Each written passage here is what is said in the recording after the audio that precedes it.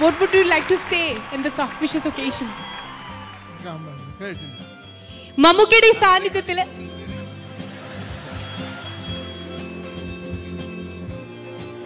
മനസ്സിലായി? ആ, മയക്ക് വെച്ച് വരേണ്ട കാര്യമുണ്ടോ തൊട്ടടുത്ത്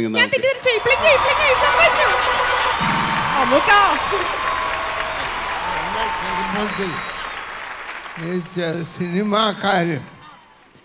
അതുപോലെ ഈ നാടകക്കാരുമൊക്കെ ആയിട്ട് പാ- ബന്ധം പാട്ടില്ല ഞങ്ങളുടെ അവിടെ ഓരോരുത്തർ വരുമ്പോൾ ചെറിയ അന്ന് ഇത്ര ഒന്നുമില്ല ഞങ്ങളുടെ പള്ളിയിലൊക്കെ സിനിമ കാണിക്കും.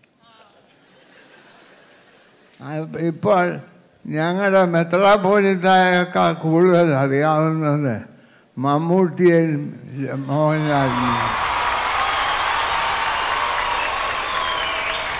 ഇന്ന് സമൂഹത്തിൽ അവർ അവരുടെ സ്വാധീനം വളരെ നല്ലതാണ്. ഇവരെയൊക്കെ അവരുമായി ഞാൻ സംസാരിച്ചിട്ടുണ്ട്. അവർക്ക് ഉന്നതമായ അത് ഞാൻ സ്വർഗത്തിൽ പോകുമെങ്കിൽ മമ്മൂട്ടിയും പോകും മമ്മൂട്ടി പോ ഞാൻ പോയില്ലേലും അദ്ദേഹം പോകും അത് അതാണ് എനിക്കുള്ള അനുഭവം.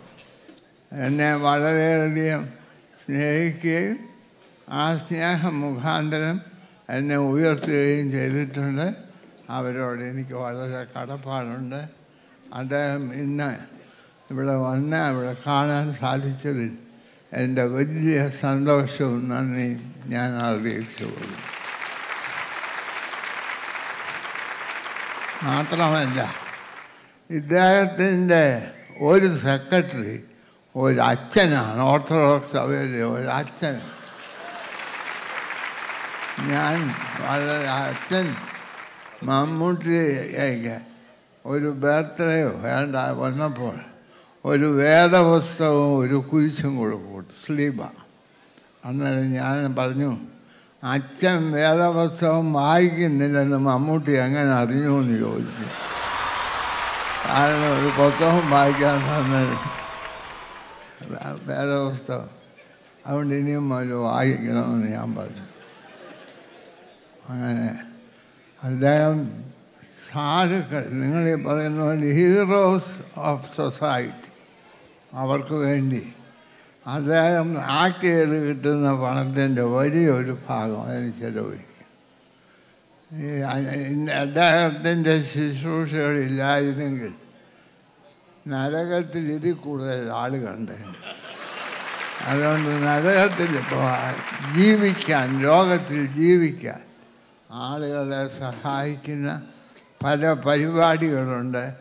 അത് അദ്ദേഹം തന്റെ ആക്ടിങ് കിട്ടുന്ന പണം അത് ധാരാളമായി ഉപയോഗിക്കുന്നു. അനേകർക്ക് ആശ്വാസം നൽകുന്നു. അത് അതുകൊണ്ട് ഇപ്പം നമ്മൾ ചിലരോട് ചോദിക്കുക തിരുമേനിയുടെ മതമാണോ? മമ്മൂട്ടിയുടെ കൂടാണോ? ചിലർ എന്നോട് പറയും. എനിക്ക് മമ്മൂട്ടി പോകുന്ന സ്ഥലത്ത് പോയാൽ മതി. തിരുമേനി തിരുമേനിയുടെ സ്ഥലത്ത് പോയിക്കോളെന്ന് അങ്ങനെ വളരെയധികം മനുഷ്യ സ്നേഹമൊക്കെ ഞാൻ ഇദ്ദേഹത്തിന്റെ ഒന്ന് രണ്ട് പടങ്ങൾ കണ്ടിട്ടുണ്ട്. അതൊക്കെ വളരെ വലിയ ആശയങ്ങൾ. ദൈവത്തെ ഞങ്ങൾ പ്രസംഗിക്കുന്നതിൽ കൂടുതലായി പ്രസംഗിക്കും. ഈ ആറുമുള്ള പൊന്നമ്മ എന്ന് പറയുന്ന ആളും ഞാനും കൂടെ ഒരുമിച്ച് പഠിച്ചതാണ്. ഒരു പ്രാവശ്യം ഞാൻ അവരോട് പറഞ്ഞു ഞാൻ പരമസത്യം വേദപുസ്തകത്തിൽ വായിച്ച് എന്റെ ജനങ്ങളോട് സംസാരിച്ചാൽ അഞ്ച് മിനിറ്റ് കഴിയുമ്പോൾ എല്ലാം ഓർക്കാൻ തുടങ്ങും. എന്നാൽ ആരാണ് എഴുതിയ ഒരു കള്ളക്കഥ? അത് ആക്ട് ചെയ്താൽ ഒന്നര മണിക്കൂറായാലും ആരും ഓർമ്മയില്ല അപ്പോൾ ഞാൻ ചോദിച്ചു അതിന് രഹസ്യമല്ല അപ്പോൾ പൊന്നമ്മ പറഞ്ഞു തിരുമേനി സത്യം പറയുന്നത് കേട്ടാൽ കള്ളം പോലിരിക്കും ഞാൻ കള്ളം പറയുന്നത് കേട്ടാൽ സത്യം പോലിരിക്കും അങ്ങനെ മനുഷ്യന്റെ ഹൃദയത്തിൽ ഇളക്കമുണ്ടാക്കത്തക്കതായ രീതിയിൽ അവരെ അവരോട് സംസാരിക്കാൻ അറിയാം. ഇവരൊക്കെ മെത്രന്മാരോ വല്ലോ ആവും അതിനല്ലെങ്കിൽ എന്തോ ആവും. അതുകൊണ്ട് അദ്ദേഹത്തിന് എനിക്ക് അദ്ദേഹത്തോടുള്ള കടപ്പാടും സ്നേഹവും അദ്ദേഹത്തിനോട് എന്നോടുള്ളൊരു കൂടുതലാണെന്ന് മാത്രം പറഞ്ഞുകൊണ്ട് ഞാൻ എന്റെ വാക്കുകൾ അവസാനം സൂപ്പർ കൂൾ വേർഡ്സ് അല്ലേ? ഇത്രയും ഹ്യൂമർ സെൻസ് ഉള്ള ഒരു തിരുമേനി ഒരു വലിയ കഴിവ് കൊടുക്കുക അദ്ദേഹത്തിനായിട്ട്. അദ്ദേഹം നൂറാം വയസ്സിലേക്ക് കിടക്കുകയാണ്. നൂറ് ഇരുന്നൂറ് മുന്നൂറ് വർഷങ്ങൾ ഇതുപോലെ തന്നെ ഇരിക്കട്ടെ. തിരുമേനി ആരാന്നിപ്പോൾ മനസ്സിലായില്ലേ? നമ്മുടെ നാട്ടിൽ ഒരുപക്ഷെ നമ്മളൊക്കെ അഹങ്കരിക്കുന്നത് നമ്മളെ ഒരുപാട് ആളുകൾക്ക് ഇഷ്ടമാണെന്ന്. കുറേ ആളുകൾക്ക് നമ്മളെ ഇഷ്ടമല്ല. പക്ഷേ തിരുമേനി എല്ലാവർക്കും ഇഷ്ടമാണ്. അതാ തിരുമേനിയുടെ ഒരു ഗുണം. അതിന് തിരുമേനിക്കൊരു ഭാഗവും ഇല്ല. തിരുമേനിക്ക് സ്നേഹത്തിന്റെയും അത് കരുണയുടെയും ഭാഗം മാത്രമേ ഉള്ളൂ. അദ്ദേഹം അത് മാത്രമേ പറയുന്നുള്ളൂ. ഇപ്പം എന്നെ പറ്റി എന്റെ അഭിനയവും അങ്ങനെ കാര്യങ്ങളൊന്നും അല്ല പറഞ്ഞത്. നമ്മുടെ വേറൊരു ഭാഗമാണ് അദ്ദേഹം പറയുന്നത്.